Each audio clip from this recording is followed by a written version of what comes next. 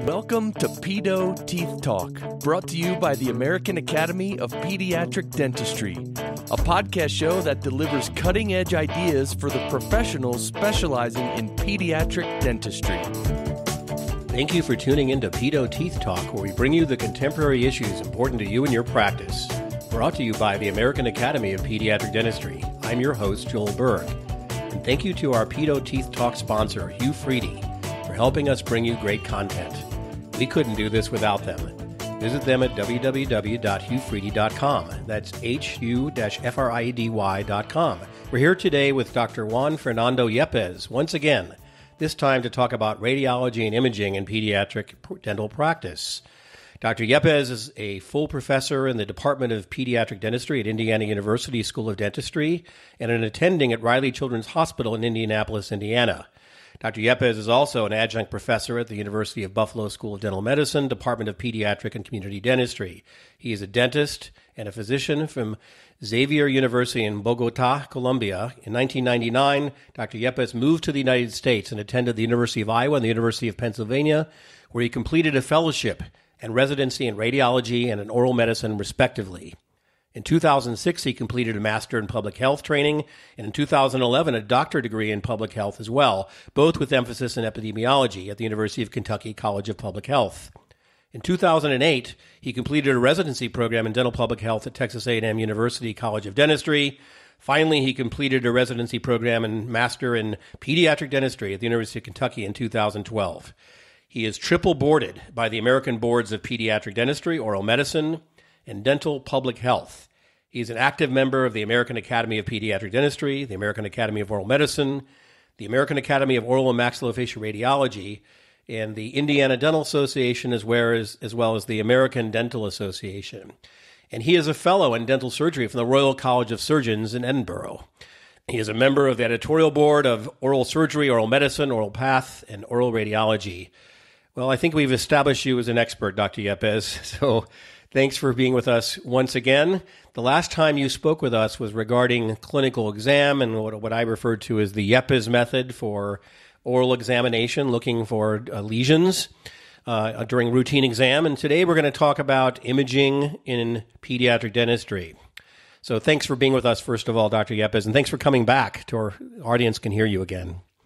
Dr. Berg and all the members of the Academy and guests who are listening to this podcast, thank you so much for the invitation. As I said a couple of weeks ago when we talked about oral lesions, this is an absolutely honor.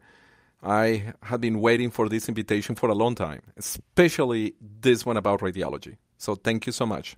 We're honored to have you, and uh, you're an icon already in our specialty, and your voice is recognized, particularly with that Kentucky accent of yours. Yes, yes, yes. As you describe. Yeah, now it's Indiana accent. That's right. Love it. I was born in Indiana, so I'm a loyalist. Anyway, let's let's get on with the subject matter at hand. And I wanted to ask you. We were having a conversation before. Should we call the subject today radiology? Or should we call it imaging? And what I mean there is, you know, radiology. You think of radiation and ionizing radiation and X-rays. Mostly, that's what we're going to talk about today. But now we're getting into the world where we have other forms of what are maybe more collectively called imaging. So radiology, including MRI, which is not ionizing radiation, and CAT scans, which are. But then we have caries detection and all and, and ultrasound. So what should we call this discipline? Just to get that out of the way, imaging or radiology? Dr. Berg, that's a good question. I probably will prefer because in that way we will be in the same page to call this conversation about imaging and dentistry. So uh, we will use a more broad term. In that way, we can include other imaging who are not necessarily ionizing radiation related. Thank you. That's helpful. So we'll talk about imaging. Mostly, we're going to talk about things that do use ionizing radiation. That's mostly what we do. So I have a lot of things to talk to you about today in our short podcast. So I'm going to get going. And I'm going to get to the Yepes method as it relates to radiological examination as well. But the first thing that comes to my mind is, you know, in, in the years in academics, I was involved with radiologists such as yourself, and the new notion of having an image read, quote unquote, as opposed to not. And what I mean by that is, you know, in medical radiology is, I'm telling you things that you know, but I want you to elaborate on this. That when you get any kind of x ray performed, the technician takes the image of the x ray captures it, but a radiologist reads the image, makes an interpretation of the image, writes a report, and gets compensated for writing that report. So we're often asked about when should we get reports done. We take a lot of you know extraoral images such as panoramics or cephalograms. Um, you know, certainly if we had a, a, cone beam CT, maybe we would think about getting it read. But talk a little bit about the concept of interpretation, reading, and when should we do that as pediatric dentists or order that? Because we can't. You can. You're an oral radiologist, but we can't actually interpret an image uh, legally within our license. So please explain that. Well, Dr. Berg, I consider myself the superhero of the interpretation. I dream about interpretation. My day is about interpretation. My shampoo that I use every morning is interpretation. The conditioner is interpretation. Basically, in a very straightforward, every time that we take a radiograph or every time that we use any kind of imaging, that imaging must absolutely must be next to the interpretation report. But let me I take a little bit away of the, you know, maybe some of the listeners of this podcast they are looking and say, well, what do you mean? Do I need to refer every time that I take a periapical? Do I need to send a periapical for interpretation? No. Every dentist, when you take any kind of images in your office, you must provide an interpretation of that image. It doesn't mean that you need to write three paragraphs or you need to write a whole textbook about that particular bite wing. An interpretation is just one sentence, no caries detected. An interpretation is maybe one more sentence, no bone lesions. So interpretation doesn't mean a pretty comprehensive, long paragraph. Every time that we take a radiograph in a dental office, we bill for the technical component, and the technical component pays for the panoramic machine or the x ray machine and for the sensor, for the phosphor plates. But we need to keep in mind that that fee that we are going to get compensated also include a portion which is the professional interpretation. So interpretation must be an activity that we perform every time that we obtain an imaging in the office. To finish, Dr. Berg, and I don't want to go in too many details because, as you said, we have a short time and we have too many topics. Imagine you take a panoramic film that panoramic film in your electronic health records or your paper records, whatever you use, you need to write a, a couple of sentences. Panoramic film within normal limits, no bone lesions, temporomandibular joints normal. You need to acknowledge in your records that you took the time to look at that film. So, as I said, you know, uh, interpretation is my life, absolutely my life. So I want to talk a little bit more about interpretation as it relates to us and pediatric dentists, not radiologists in practice.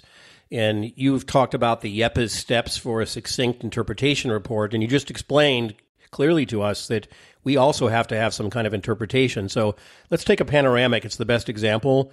We routinely take panoramic uh, radiographs and we look at them and we're looking for development, we're looking for dental, orthodontic uh, things. We're also looking for pathology uh, to make sure we're ruling out things that may uh, come up in a routine image. So, it, what what what differentiates an interpretation that we make from those that we need to refer to you or other radiologists? How do we make that decision? Some things may seem obvious, but give us a guideline of how to go through that process of deciding I need to send this out to a radiologist for an interpretation. Okay, so the first thing is every time that we take a panoramic film, every single time, regardless if we see something unusual or it seems to be normal, we need to provide a very systematic, step by step interpretation of that film.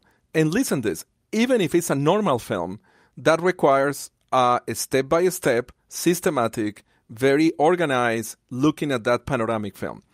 If we see something unusual, and believe me, Dr. Berg, from my heart, if you see something unusual in a panoramic film, and again, you know, we may have different threshold for what we call unusual, but just imagine there is something on the left side of the mandible. Regardless if you are going to submit that film for an advanced interpretation, you as a pediatric dentist, you as a practitioner, you need to look at that lesion and you need to describe the lesion and you need to provide an interpretation of the lesion.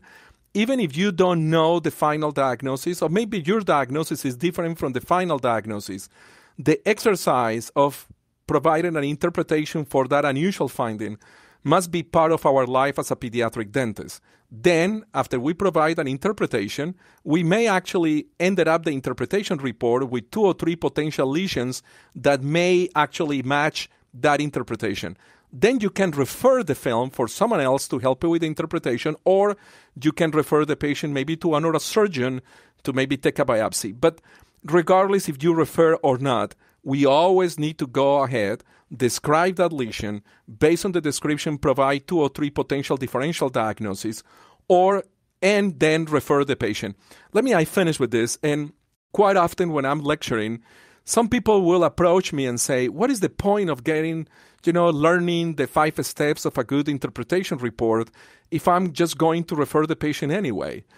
Well, the point is we are dentists, we are pediatric dentists, and we, as a pediatric dentist, we must be able to provide an interpretation and a potential differential diagnosis. Otherwise, what is the point if you just take the panoramic film and you just call your oral surgeon friend and say, you know, I'm sending you a 12 year old with an unusual lesion in the left mandible. Thank you so much.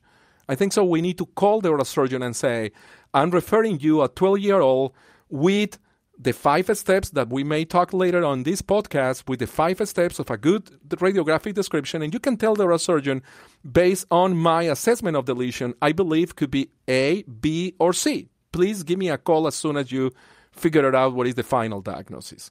Yeah, and I think this falls well within the scope of our uh, practice as pediatric dentists. We're the only specialty that's about a population and not about a specific area of practice. So just like pediatricians in medicine, who are the go-to place for emergencies, for assessing broken limbs, uh, we have to have some kind of method of that initial assessment in all areas of practice.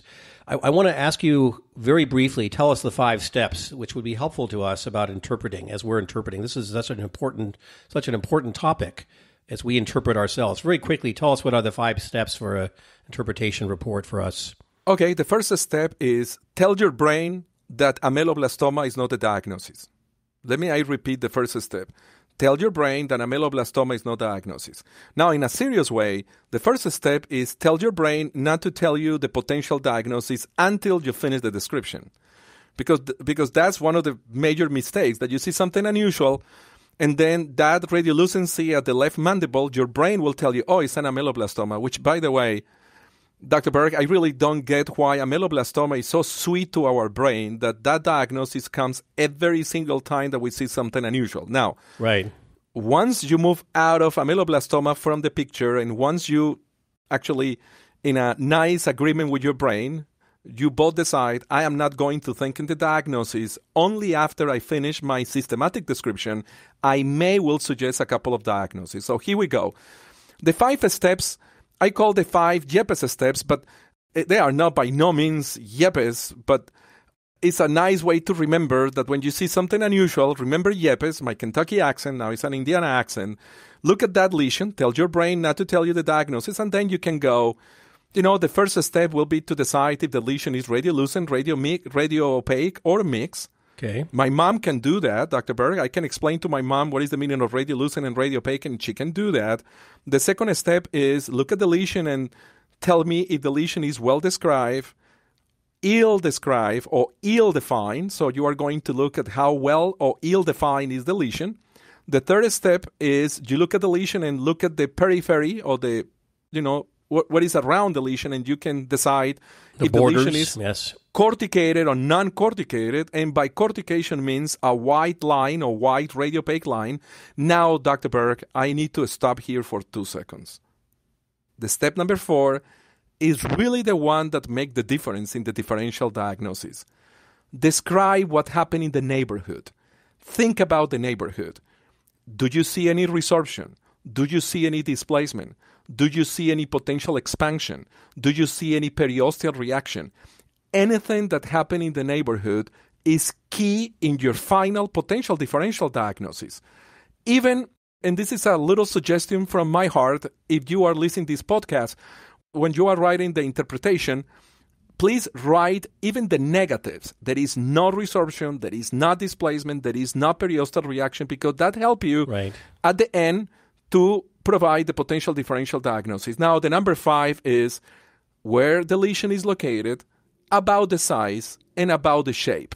With this, you will complete the five steps, and then at the end, based on my radiographic description, the most likely diagnosis is A, B, or C, and then you can either refer the patient or if if you feel confident that this is maybe idiopathic bone sclerosis, you probably are going to stop there and then maybe follow the patient with a new film in two years. That's extremely helpful. I think that's an incredible part of what you're telling us today is this interpretation. It's it's a great reminder because I think we get into a pattern and we forget sometimes that we need to take the time and just describe what we see. That's what you're saying. Don't rush. We don't have to make a diagnosis. We just need to describe in a little bit more detail as you've told us. So thank you so much for that. We will now pause for a word from our sponsor. Hugh Freedy is the global leader in dental instrument manufacturing, offering pediatric restorative solutions that keep you performing at your best. For more information on Hu-Friedy products, visit www.hu-friedy.com slash AAPD crowns. We're back with Dr. Juan Yepes. We're talking about imaging and aspects of it. And we just talked about the Yepes method, the five steps that we can use to interpret an image. That's something we should be thinking about as we look at all of our images and make some notation regarding that. Now I want to get into some nuts and bolts questions related to radiology and imaging. First of all, just some quick questions. Uh, we're, mainly using digital. Is there any reason to use film anymore, by the way? Is film gone forever? Um, I don't think so. Films are gone forever, but I can tell you that probably 80 to 85 percent of the dentists in the country are finally moving into digital radiology. Some practices they are still using conventional radiology, but very soon I believe everybody will be working in the digital radiology world. So, I mean, one great thing about right, digital is the storage capability. Another is the amount of radiation. Is it true that you have significantly less radiation using digital than film? Dr. Berg, I love this. I I love this podcast. Honestly, I feel so. This is the issue. Digital radiology is not 99% less radiation compared with conventional films, as sometimes in some places they try to sell you the system as 99% less radiation. I think so, generally speaking, digital radiology requires less radiation. First statement, that's right. The second statement is that less radiation of the digital systems is around 40 to 50%. That's right. The third statement is if you want to be in the same page with decreasing the radiation that you need to generate the image, listen this, you need to set up the X-ray machine according to the system that you are using. And finally, yes, it's less radiation. As I said, you need less radiation to create the image, but Dr. Berg, retakes are a lot easier. So, Yeah. my friends and my colleagues listen to this podcast. Keep tracking of the retakes in your office. Keep doing that.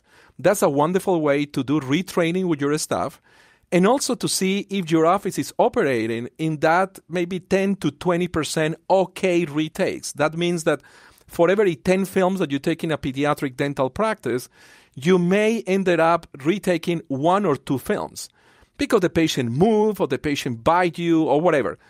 But if you don't track your retakes, digital radiology could be the opposite. You may end up could end up more because it's so easy to take uh, other images. Dr. Berg, remember the old days. Remember the Yeah. pain of retaking a film. Yeah, you avoid it. And now it's like, oh, no problem. We'll just take two or three. And I, I, we do see this phenomenon. And I think because of that, it would actually seem like it would be one of the best quality improvement things we could do in our offices as we're looking for those projects, which are always good, is track the retakes. I think that's a great idea.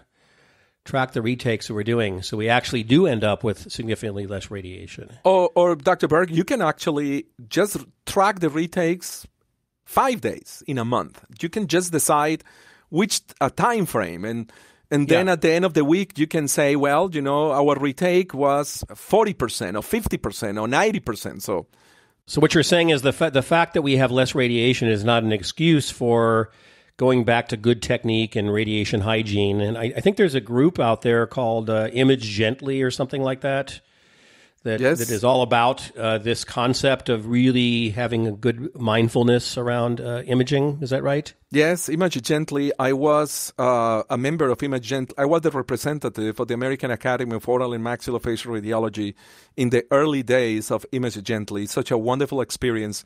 I love the name Image Gently. That Yes. pretty much we need to recognize that radiation is our friend, but we need to be very very conscious about the use of radiation Right. in the most sensitive population, which is the kids. And let me add something that I need to say because not just only track your retakes, but also if you want to work in a pretty radiation safety office, use rectangular collimator. Let's leave it like that. I was just going to ask you that. So, Okay. have we, do we? We still need to use those, right? Absolutely, Dr. Berg. You need to, you know, my colleagues who are listening to this podcast, you must think seriously to use rectangular collimators. And if you decide to use rectangular collimators, you always need to use the X ray positional device. It's called XCP in some places, but rectangular collimator is the single most effective way to decrease the amount of radiation to our patients. Now, if you use rectangular collimators and you don't use the X ray positional device, big big problem because your retakes will go skyrocket because the problem with rectangular collimators is you may well get more cone cuts if Right. you don't use the XCP. Yeah, they both go together. You got to have both. So that's a that's another wonderful, great reminder. So speaking of uh, radiation dose and uh, and the quality of images that we take, tell me your take on sensors or phosphorus plates. Easy answer. And this is Dr. Berg, my opinion. And we can keep going three hours. I have my opinion too, but I'm not a radiologist. I think so. A good pediatric dental practice who provide care to patients under the age of 18 and special needs must operate in both systems. I call a hybrid office. That means that you have the capabilities of phosphoroplates and you also have sensors. And the reason is pretty simple. In the little ones, patients under the age of four, patients under the age of five, there is no question that the phosphoroplates will provide you a better option to get a good quality film. And it makes sense because the phosphoroplates are smaller, thinner, easier to place in the mouth. And for the older patients, I don't see any problem using the sensors. So hybrid means that you operate in both sides. I don't think so. A system fits all. I don't belong to that group of dentists who can take any patient age. Yeah. They can use the sensors. I don't. I, I agree, and I think that's the experience of colleagues I've spoken with. You know, one thing about the phosphor plates on the negative side of only having those is there's a tendency to want to reuse them more often and past their lifetime, their natural lifespan. You see cracks, and then the images aren't good. You have to retake images. It goes back to the radiation hygiene and gentle imaging. Yes, absolutely. Um, if you use the phosphoroplates, you need to keep in mind that over time the phosphoroplates will lost some of the ability to capture a great image.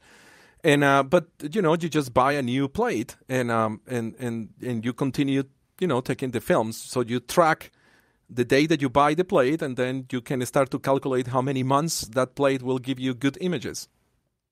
I want to shift gears for a moment uh, as we get to our last round of questions uh, about these other image types. Uh, you know, cone beams, we often get those for orth- orthodontic treatment. Uh, for other reasons, the oral surgeons may use them for positioning of third molars.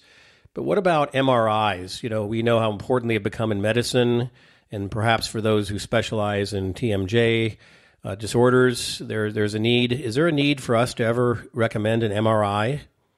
I think so. There is a need to recommend an MRI, Dr. Berg. I don't think so. It's a daily situation that we will require an MRI. MRI is the gold standard for soft tissues. So uh, maybe some of my colleagues and some of the pediatric dentists they work with adolescents, and sometimes you can get some temporomandibular joint issues, and obviously the MRI will be the perfect technique for soft tissues and looking at the disc and look at, looking if the disc is displaced or not. But um, I don't believe that you know that MRI will be in the front line of our imaging toolbox. Now, in the next maybe 10 years, I'm sure we are going to have the capabilities to have MRIs smaller, maybe more accessible to us, and that maybe will open up a, a field of uh, imaging in pediatric dentistry. Okay. So I want to talk a little bit in the last moments on periodicity. You know, we we're all confronted with the ability to take films based on what is compensated for. Um, you know, we we learn that we should examine patients prior to making a determination that even bite wings are necessary at this point in time. And also with panoramics, you know, there's they're so-called allowed to be taken at certain times. Can you give us sort of a guideline, uh, you know, based, of course, on the APD guidelines for periodicity related to all radiographic imaging that we would perform in the office? I'm talking about ionizing radiation, of course. Yes, yes, we we are using this day the 2012 FDA and American Academy of Pediatric Dentistry recommendations and criteria for the use of radiation ionizing or ionizing radiation. Very soon, because I know the ADA is working in an update of the recommendations and criteria. So I expect that in 2021 we are going to see a new recommendations and criteria. However, the best way to answer and the quickest way is justification you always need to have a justification behind that film. You need to have a reason. If you have a reason, absolutely you are going to decrease the number of radiographs that you take in children. That justification could be caries risk, justification could be trauma, justification could be it's time to evaluate growth and development, justification could be swallowing, justification could be numbness, whatever. But you need to have a justification. I through the years, I published a couple of articles looking at dentists if they follow the recommendations. And interesting, Dr. Berg, the majority of dentists, we follow the recommendations and we follow the, the guidelines. We have a couple of outliers who usually are the ones who may take more films that we are expecting. And, uh, and that outliers are the ones that we want to target when we are looking in the reevaluation of the guidelines. Yeah, that's that's a great perspective on that and very succinct, I would say. So the last thing I want to talk to you about, Dr. Yepes, is the future of radiology and, and imaging and pediatric dentistry. One of the things that excites me, and I, I, am very interested in the topic of medical management of caries. I'm seeing a lot of uh, light devices that don't use ionizing radiation that allow us to see caries lesions more precisely. Not quite at the level of a bite wing yet, but I think we're going to get there. So I wanted to ask you your take on the exciting future of imaging in pediatric dentistry.